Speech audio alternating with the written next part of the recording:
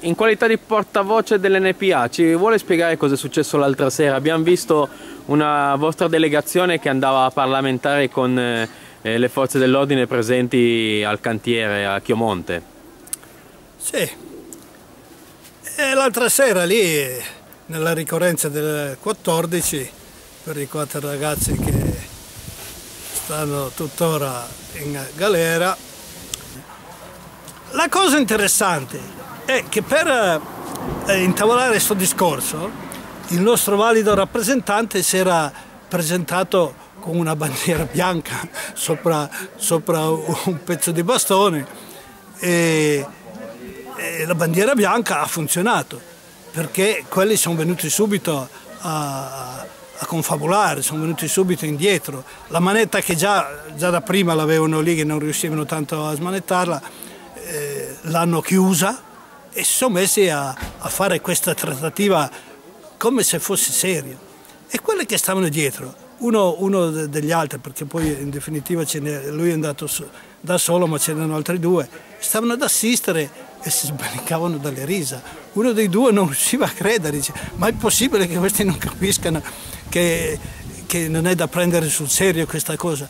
Invece no, i poliziotti ci hanno creduto fino in fondo. Insomma i ragazzi non li sopportano. Eh no, i ragazzi non li sopportano. Non, non c'è niente da fare, come eh, vedono... Sì. Le, sparare quelle, a vista. Sparare a vista perché quelli sono cattivi, sono, sono i black block, quelli lì. Ah. Sono il lato, come lo chiamano?